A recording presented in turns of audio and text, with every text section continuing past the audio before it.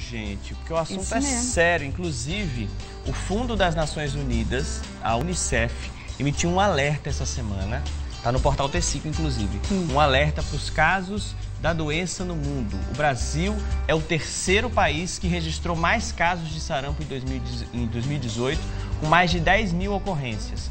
O Ministério da Saúde informou que só três estados brasileiros registraram muitos casos da doença. Não é o caso da Paraíba, Graças Amazonas, Pará e Roraima, mas mesmo assim a gente tem que ficar de olho.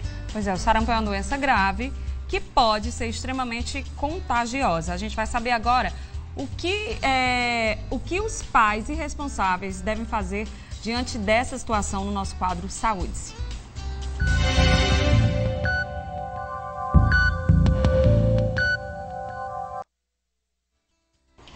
A gente está aqui com a médica Priscila Urquiza. Priscila, Olá. boa tarde, seja bem-vinda. Bom, boa tarde. E aí, a gente tem que se preocupar mesmo com esses casos de sarampo que estão surgindo? Claro, né? O sarampo é um, uma doença viral, né?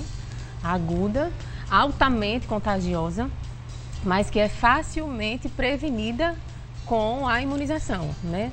A gente sabe que o sistema de imunização do Brasil é reconhecido mundialmente né? Nós temos as vacinas amplamente distribuídas pelo Sistema Único de Saúde, né? Nos então, postos de saúde. de sarampo e o fato do Brasil estar tá perdendo o título de país livre de sarampo é por causa da falta de vacinação? Com certeza, por causa da falta da vacina. Né? Uma vez que o indivíduo é suscetível, ou seja, uma pessoa que não está imune, é, uma, entrou em contato com uma pessoa, com uma pessoa que está infectada e entrou em contato direto né, com as gotículas de saliva, porque o sarampo é uma doença viral transmitida através de contato direto, através de gotículas, né, emitidas pela saliva. É, é tosse? Tosse, o contato, a fala, né? Então, esse contato mais próximo, direto, uma pessoa suscetível, ou seja, uma pessoa mesmo imunocompetente, que tem um sistema imunológico perfeitamente funcionante, se não tem, se não adquiriu a imunidade através de vacina, ou não teve a doença, porque é uma doença que tem um caráter, um caráter benigno, apesar de ser bastante grave, né? Ela naturalmente vai ser atada. E o que, tá, o que é que tá, o que pode estar com né? a não vacinação? Assim, o Brasil veio apresentando em 2015, em 2016, em 2017, zero casos, ou seja, estatisticamente nós está, estávamos tanto que em 2016 a Organização Mundial de Saúde, né, paralisou o Brasil e reconheceu o Brasil como território em que não havia mais erradicado, no caso, o sarampo.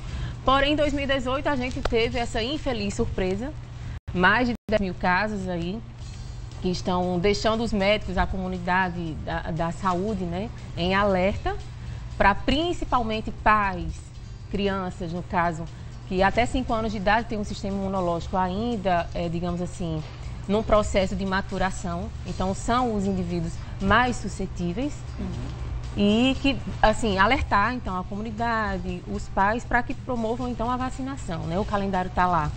Os postos de saúde estão... A, a vacinação é gratuita, né? O primeiro, a primeira dose é feita com a tríplice viral aos 12 meses e a segunda aos 15 meses, através da quádrupla, né? Da Se eu sou um adulto, não tenho mais meu cartão de vacina, mas não tenho certeza que tomei essa vacina, qual é o procedimento? Pode ser vacinado também.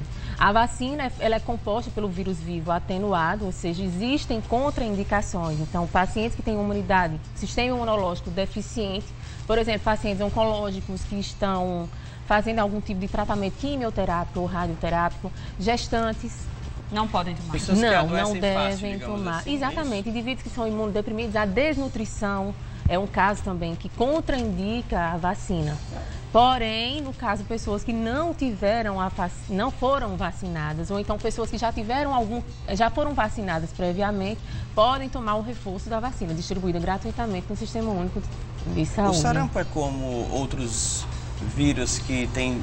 Se você pega um tipo, aí depois tem uma mutação, outro tipo, e é, tem isso também? Como, como é um vírus, né, de vírus de RNA, ele realmente tem, tem vários tipos de mutações, né? Mas a vantagem do sarampo é porque ele apenas só tem um tipo antigênico, ou seja, a vacina, ela é. A dose da vacina ela já é suficiente. o suficiente, né?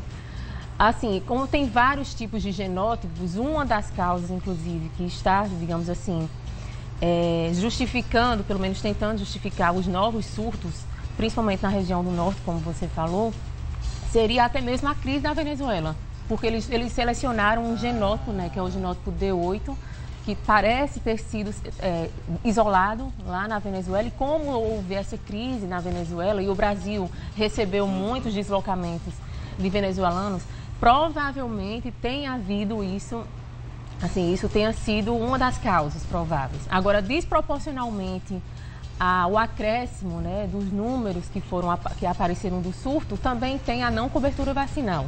A pessoa fica é, assim, é, né? A gente, tá, a gente está falando aqui que de uns anos para cá, né, foram o, o, sarampo foi erradicado, mas eu lembro quando eu era criança, na minha infância, eram coisas assim, você teve sarampo, você não vai ter mais. Justamente. Todo mundo tinha que. É, era como se fosse uma doença que todo mundo, uma vez na vida, fosse ter e era normal.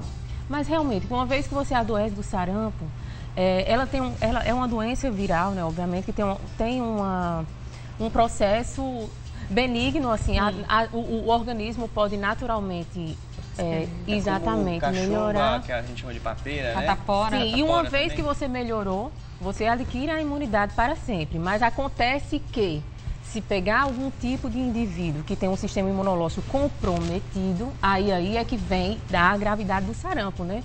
Pode se tornar uma doença letal. Inclusive, essa falta da imunidade, né? Pessoas é, desnutridas, pacientes oncológicos que estão em tratamento quimioterápico, é, pacientes com tuberculose ainda sem tratamento, né? Pessoas que têm o sistema de imunidade deficiente podem, pode, uma vez adquirido o sarampo, manifestar as formas graves da doença, que tem um alto potencial de letalidade. Então, tem as complicações virais, complicações bacterianas, né? O paciente pode evoluir com encefalite, o paciente pode evoluir com uma pneumonia, pode evoluir com lesões oculares, com hepatites. Se for uma gestante, como tem o vírus atenuado, não pode ser vacinado, a gestante, apesar de que não há uma, digamos assim, como a rubéola, o potencial de transmissibilidade congênita não causa má, isso não causa malformações, mas o que é que pode causar no sarampo uma vez que uma gestante adquiriu? Pode ter parto prematuro, baixo crescimento intrauterino, ou seja, realmente tem complicações nesse sentido na gestante. Né? Entendi. É... O recado é esse, então, para os pais levarem os filhos para vacinar. Isso, né? eu queria que você dissesse só para quem está em casa, é, a Paraíba ainda não apresentou nenhum caso. Não. Então é uma coisa que a gente não precisa todo mundo correr de uma vez só, os postos de saúde, que não está essa loucura toda. Pode ir, organizar direitinho. Se organizar, exatamente. Agora sim, uma coisa que é interessante de se falar é porque assim, o sarampo é uma doença viral, então os sintomas são muito inespecíficos. É um sintoma de uma síndrome gripal. Hum. O que é que pode, digamos assim, tem um sinal patognomônico, exatamente. Patognomônico na medicina a gente chama aquilo que diz realmente que já decreta o diagnóstico, como está mostrando aí Eu nas vendo imagens, até dentro né? da boca. Exatamente, são os sinais de Koplik, né? São as manchas de Koplik, que geralmente eles estão no início, no fase, na fase prodrômica. O que é fase prodrômica? Depois do período de incubação, geralmente 10 a 12 dias, o paciente ele inicia o quadro clínico, que é o quê? Sintomas catarrais, Vem febre, vem prostração, vem lacrimejamento, vem a conjuntivite e as manchas de Koplik, que são manchas, a gente chama de enantemas, né, em região as de mucosa julgal, exatamente que é bastante característico da doença. Depois é o período de fase exantemática, que é quando aparecem peteques, as lesões macropapulares de aspecto descamativo, que a gente chama de exantema, meio... exantema morbiliforme, né? Que é aquele que é semelhante ao sarampo, né? A, a, a tradução.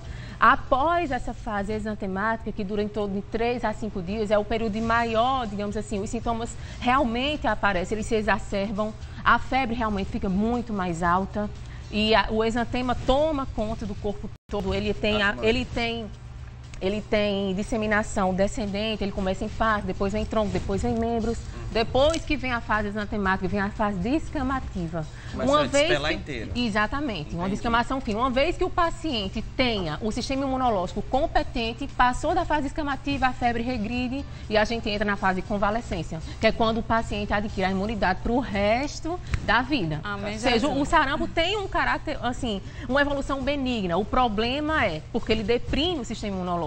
Entendi. Então, pegou uma criança ou um adulto que tem um sistema imunológico naturalmente, assim, em fase de, de de maturação, aí é que está o perigo do sarampo, Verdade. né? Doutora então, Priscila, a gente Acabou a o gente tempo tem do que programa. Doutora, obrigada, viu? Mas ficou Tenho bem certeza claro que a pra galera gente. de casa tirou todas as dúvidas. Vacinação E muito obrigada. todos os postos de saúde. Obrigada. Valeu, Vamos para cá.